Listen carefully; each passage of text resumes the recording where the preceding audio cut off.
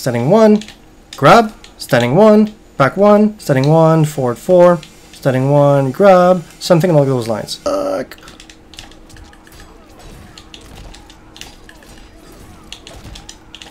Ah! 344, two bars. Yep, so let's guess wrong properly. 214, even in this case, right, if he doesn't really have much of a bar, I'm still incentivized to press, even if I have one bar, because I see I do like 100 damage more than him. So that's the standing one stagger. Alright, so we have this, 1, 2, and 2 something else. We have 1, 2, and 2 command, or we have the completion of the string. People are scared of the kick at the end. It does 50 damage. Whereas if we look here, so no special, 50 to 60 damage, 60 if his hands are burning. Remember, Nightwolf did 290 to 340. I'm gonna interrupt here, and then I'm gonna get like a full combo punish, right? I press, 126 damage. I press, 60 damage. So now that I'm scared, I wait for the fireball, and if I have bad like reflexes, or if I'm just playing online, he's gonna open me up. And that's why he would like hit, right? So like right now this is offline, so it's a bit easier. But that's why he would hit. Or he does this, and he tries to press after, he's done again. So if he staggers standing 1, you guess right, you get this range of damage, 290 to 340. If you guess wrong, the worst case scenario is 257 damage, which is a medium type of risk. Don't think about the numbers, think about if is this medium risk, low risk, or high risk. Standing 1, 2, he might kick you, or he might not. He's staggering standing 1, 2. Very low risk if he just kicks you, 60 damage. Standing 1, 2, 3, but he's a bit insane, or he's making some reads. So if he kicks you and then flying kicks you, the worst damage possible would be 228. And then he does standing 1, 2, 3, and instead of just blocking, waiting for his turn to be over, sometimes he does standing 1, 2, 3, and then he lowballs. In the worst case scenario, you get caught by the fireballs at 126 while you were trying to take it back. So the worst case scenario, simplified based on these attacks, medium, low, medium, low. That's the, the risk for you as Nightwolf when you want to fight a Liu Kang that uses his string standing 1 to 3 and chooses to stagger in, in between the, the, the 3 string hit in the cost reward department when it comes to Liu standing 1 to 3 because Liu standing 1 to 3 is not good. It is only good against characters that are turtling or that are overly respectful. So you have Liu Kang with his string 1, 2, 3, and there's two staggers in there, right? There's the 1 and then into something else.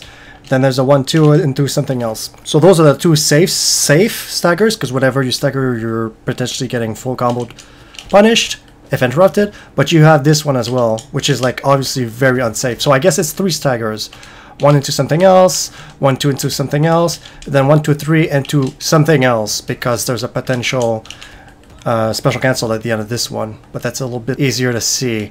Anyways, you know I'm all about cost rewards in Mortal Kombat and almost always about guessing. If you're playing someone good and you can't make the read, like, they don't do some of these staggers very often. It's just, it's unpredictable.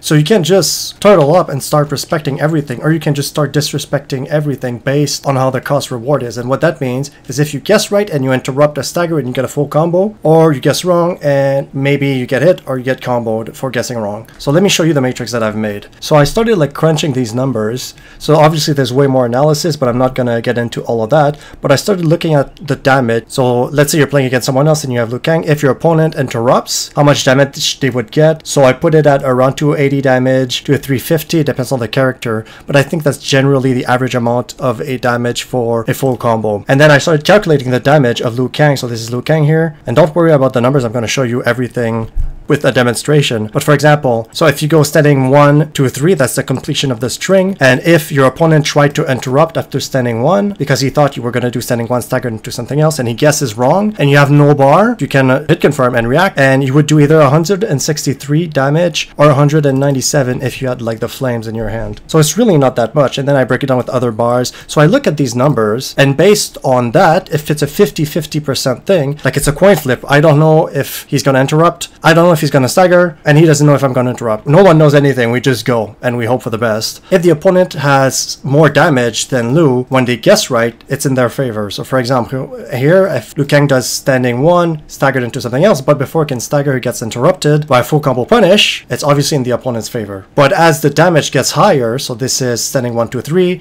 the opponent starts hitting at standing 1, now standing 1 he blocks, and then he hits trying to interrupt because he thinks you're to stagger with standing 1, and he guesses wrong, and you hit confirm, You had two bars, you bicycle kick him with the hands on fire, that's 257 damage. So if you guessed right, you would have got a higher amount of damage if they didn't break, depending on which character you have. Like this is all just a, a very broad average, so it's a generalization. But generally speaking, you would still be at an advantage because you would still get more damage if you're the one that guessed right. So as Liu Kang's damage goes up, it becomes more risky to call him out on it. So that's why I ranked this one medium, for example. So let me give you like an exaggerated example. And again, don't worry about these numbers. I'm going to show you all of these with a demonstration. But like the one where you always want to press against Liu Kang is if he does standing 1-2, standing 1-2 staggered into something else. You know, Ninja love what he does. He does standing 1-2 into command grab. I don't know why people respect standing 1-2. As soon as you see standing 1-2, regardless of if you think he's going to complete the string or not, just press because the damage is so low. So for example, if he kicks you, he's not going to be able to hit confirm. That's not enough. That's just one hit. So he can't safely convert. So he would do 50 damage. That's nothing. But if you touch him, that's 350. So it's it's low, or you know, it can you can say it's very low.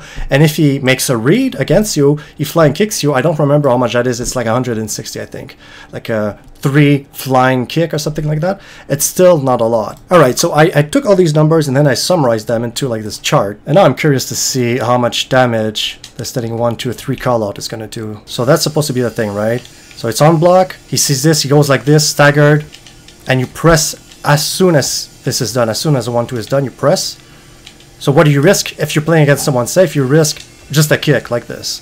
Because a very safe player is not gonna do this on block unless it's like a hard read and even then if it's a hard read you still risk your life for very little damage. So how much damage would that be? So we're gonna we're gonna ignore like chip damage. So I'm gonna do it just like this to make it easy. So 190 and that's without fire in hand and if I have fire in hand so 190 to 228 so let's enter those numbers. All right so I updated my thing. Let's see sorry my big face is in the way.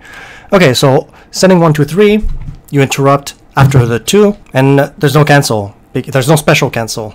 No special cancel after the 3 kick, because he's safe, right? He just kicks you. If you keep interrupting him, he might make a hard read and say, okay, this guy's always pressing after 1-2, I'm just gonna YOLO kick him, right? And pray that he's not blocking, or else you're gonna get really damaged. So you do sending 1-2, you press 3, the kick hits, you flying kick, YOLO it. And without amp, you get 122 damage, and with 1 amp, 160. Let's see with a fire how much that would be. 146 or 228. Okay, so that starts to be a little bit more damaging, 228. Okay, so based on this, now I'm going to show you interruptions. So we're going to have three scenarios based on the staggers in his game. So cost reward, his game plan for standing one is to do something like this. So it's a mix between standing one, grab, standing one, back one, standing one, forward four, standing one, grab, something along those lines. If you stay strong, you should be fine. And if you're willing to get grabbed, if you can reach, is going, you're going to eat 130 damage. So that's the game plan for him, right? So he wants to confuse you, make you let go of block. Okay, we're going to interrupt him. Cost reward, and I'm like, I don't give a shit about what you might get, so I'm just going to go for it. And then I press... Uh,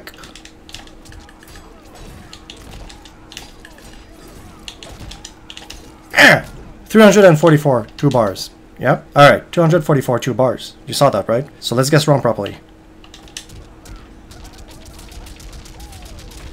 214 for two bars of his, and when I do two bar of mine, it's 300, like 44. So based on a cost reward basis, if we're flipping a coin, we both don't know when we're going to interrupt each other. If I was a Liu Kang and I knew that this guy would interrupt from even from time to time, my standing one, I would never stagger that anymore. I would just do the continuation. And then because of that, since I'm forced to always do the one, two, three, because he always interrupts my staggers, like this shuts down my game completely because then I he just has to keep blocking the string until it's over. That's if he adjusts on time, right? And here, since the damage is like fairly low, ideally I would not press in this situation when he has two bars, right? Because if I press, the damage is quote unquote too high, but let's say he has one bar, let's see how much that is, 207, so not bad. What if it's no bar? If it's no bar, I have like all the incentive in the world to always press no matter what. So you're gonna have one bar only. I'm still incentivized to press because I have to do so much more damage than him. Even in this case, right, if he doesn't really have much of a bar, I'm still incentivized to press, even if I have one bar, because I see I do like 100 damage more than him. So that's the standing one stagger. So standing one stagger, I said no amp, super low. Otherwise, you have to be a little bit more careful. So if you see a Liu Kang without amp, and your character does a decent amount of damage, I see your Nightwolf with at least one bar, yes, go ahead and interrupt.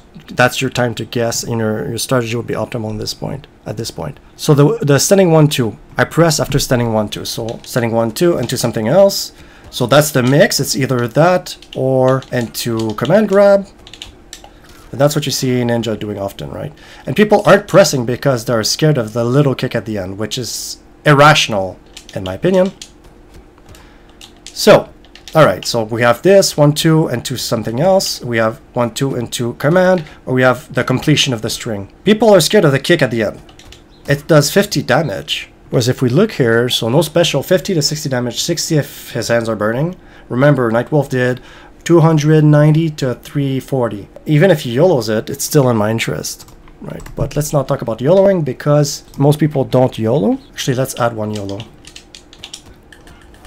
So he's gonna YOLO, I press, he YOLOs, he gets 190 damage. It's unlikely that this will happen, and the damage is low anyways, kind of. It, it is, right? It's like, it's in the medium range, but it's fairly low, so you should almost always take that risk. Except if they're becoming predictable, then of course you just want to punish them. But usually what would happen against a safe player is just this. They have hit advantage, 14 hit advantage, I know you can't see it, and that's enough for them to get up on you and pressure you, but that's it, with 60 damage. Like, if you look at Nightwolf's life, it's really not that much damage compared to I'm gonna interrupt here, and then I'm gonna get like a full combo punish, right? The optimals that Liu Kang can do, the most damage that he can do to me, is if he say 50 to 60, if he YOLOs it from time to time, without amping, not a lot, and with one amp, more if his hands are on fire. And now we're gonna go, do, go look at one more. This is his usual range his range is from about 290 to 340. Look at the range of Liu Kang. Like this is not a very good range. That's if he guesses right. Look at this. This is a horrible range. So this means that if he staggers standing 1-2, even if you don't know if he staggers, whatever, you see standing 1-2, as soon as you see the second punch, you have to press. Because if he stops and he staggers, he gets full combo punished. And if you guess wrong, you get 50 to 60 damage, so that's not a lot. He might YOLO it, but even his YOLO, he's sacrificing his life, potentially, just for a tiny little bit of damage, which means it's unlikely for him to actually do this if he's a good player. And then we have the Fireball, the standing 1, 2, 3, full Fireball. This is like awful as well. So if he doesn't amp, if he has no bar, and he's gonna do it, he's risking his life for 60 damage, if that's if he gets you. And if he has bar, it's 126. So let's look at it. So what he wants to do, so he wants to like scare me with this fireball, right? You try to take back your turn, you get exploded. So now that I'm scared, I wait for the fireball. And if I have bad like reflexes or if I'm just playing online, he's gonna open me up. And that's why he would like hit, right? So like right now this is offline, so it's a bit easier, but that's why he would hit. So if you have no, if he has no bar and I try to press, 60 damage. And it's not just that he risks his life. So he risks his life when he staggers like this, and he risks his life when he does this. So he risks his life at both points. Unless he just does this. This is the only way where he wouldn't risk his life if he just blocks after. But anything else after that is unsafe. Like even if he pokes, I think. Like you try to mash. Now of course if I do standing one, he's gonna get me, but use any mid, and you're going to open him up. Right, just a poke too is going to gel him, but anyways. I press, 126 damage. I press, 60 damage. What if I try something else? I press, can I punish him? I don't think I can. At least there's that. No, I can't. And of course, if you end up blocking it, like I said, so he's done. You guess right for this one too. He's done. This is reactable.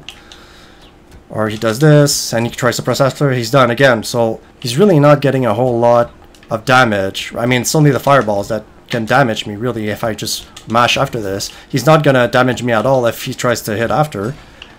Because um, I'm going to interrupt him, and if he pokes, he just gets a poke in. And that's again if I'm using high attacks. If I have like a 9 frame mid, he's exploded every single time. He can't even poke me. The only thing he can do is to stop after 1, 2, 3, or to launch a fireball after 1, 2, 3. So anyways, guys, that's it. I would say, you know, there are too many numbers here. So what you could potentially do is just remember when to press. The best way to think about this is what is the worst case scenario? Like maybe this is confusing. So what I'm going to do is I'm going to bring it here.